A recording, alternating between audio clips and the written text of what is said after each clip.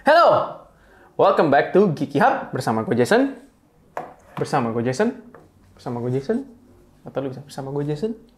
Iya. Di episode kali ini kita bakalan sharing tutorial cara kalian supaya bisa streaming gaming menggunakan PS5, menggunakan HD60X di TikTok Live. Karena belakangan ini kita, uh, gue juga sendiri lihat mulai banyak orang yang streaming atau manusia yang streaming gaming mereka, konten gaming mereka di TikTok Live.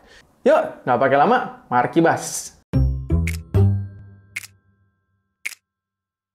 Buat kalian yang menggunakan HD60S Plus, karena kita hari ini menggunakan HD60X, caranya sama aja. Jadi kalian juga bisa ngikutin tutorial di video kali ini. Oke?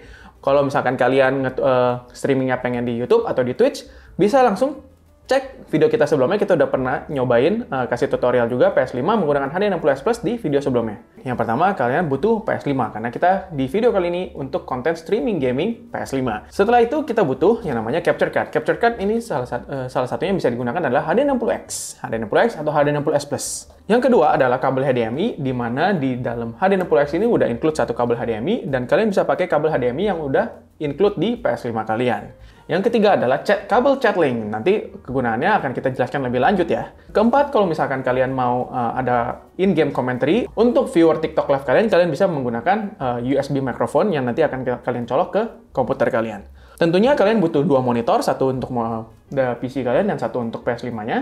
Dan kalian juga butuh PC, komputer, uh, di mana USB portnya udah harus 3.0 karena HD60X ini menggunakan USB A yang 3.0 dan spesifikasinya harus minimum requirement sesuai dengan ketentuan dari Elgato yang nanti akan kita lampirkan di sebelah sebelah mana ya.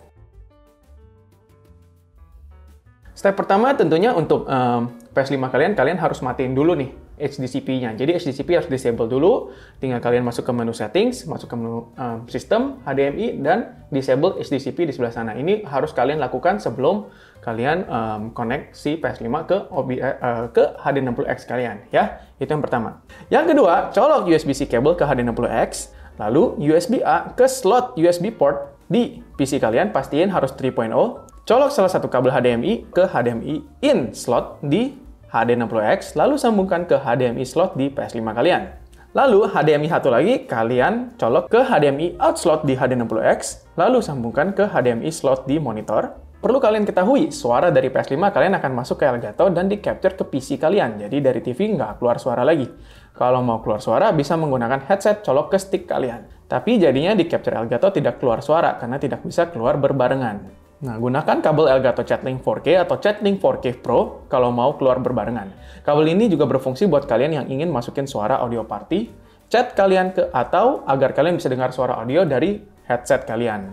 Headsetnya tuh harus yang colok ke stick PS ya, jadi nggak bisa headset Bluetooth. Kekurangannya itu. Lalu kalian harus set ke masuk ke Elgato 4K Capture, audionya kalian set ke analog audio. Jangan lupa ya. Jangan lupa juga untuk mengganti audio yang ada di PS masuk ke tekan tombol PS kalian, masuk ke sound, dari sound di output device-nya masukin ke headset controller. Jadi itu supaya kalian bisa dengar audio di headset kalian ataupun masuk ke Elgato-nya ya. Tentunya kalian juga butuh uh, aplikasi dari Elgato yang bisa kalian download langsung di Elgato. Jadi tinggal pilih aja sesuai dengan capture card kalian. Kalau misalnya HD60S Plus atau HD60X itu bisa pilih yang Elgato 4K Capture. Lalu uh, setelah udah kalian colok semua, langsung yang namanya Elgato 4K Capture yang udah kalian download.